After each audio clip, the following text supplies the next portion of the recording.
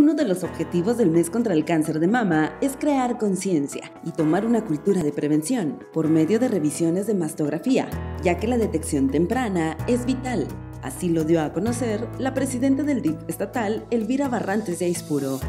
que yo ya veo como que menos resistencia en las mujeres, ya estamos más conscientes, pero creo que hay más, más, este, más información y todo mundo sabemos que esta enfermedad detectada a tiempo es como se salva la gente.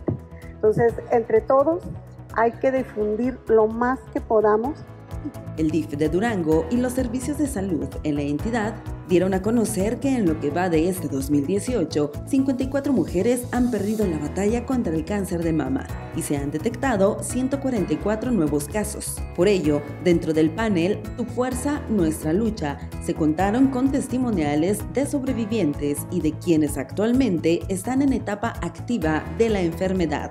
Entonces yo, la noticia fue impactante para mí porque dije, discapacitada, y ahora con cáncer me voy a morir.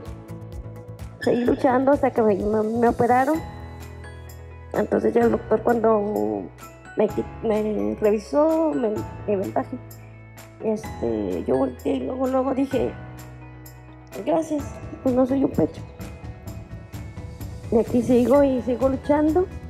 Vivir en persona o ser familiar de alguien que sufra esta enfermedad es, sin duda, una de las experiencias más duras, por lo que la unión familiar es uno de los apoyos más importantes. Y nunca me imaginé que me fuera a pasar a mí. Entonces, por eso en el momento en que te sucede, es muy fuerte. Y cuando me dicen que sí tengo cáncer, les digo, lo primero que, pasó por mi vida era que yo me iba a morir, que yo no iba a poder. Mis hijos son esa, ese arma que yo tengo para poder estar de pie.